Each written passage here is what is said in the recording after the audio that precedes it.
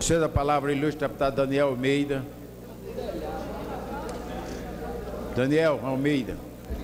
Senhor presidente, para é, três registros. O primeiro deles, é, con- congratulando-me com o Dia do Jornalista, comemorado ontem, e a luta dos jornalistas para regulamentar a sua profissão, especialmente a exigência do diploma para o exercício da atividade de jornalista.